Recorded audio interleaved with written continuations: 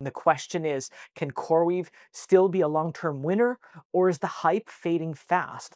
Some analysts are calling it a once-in-a-generation AI play. I say this is where it starts to get interesting. CoreWeave just locked in 22.4 billion in total contracts with OpenAI. That's no typo, 22 billion. And Meta, they've thrown in another 14.2 billion to build its own AI infrastructure. And the real kicker is Nvidia.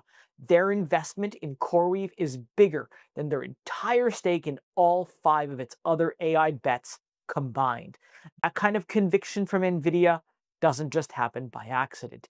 It means someone inside the AI supply chain sees CoreWeave as critical. And yet, the stock's still down over 27% from its highs. So what gives? Well, there's one specific signal I'm watching that could explain everything, and hardly anyone's talking about it.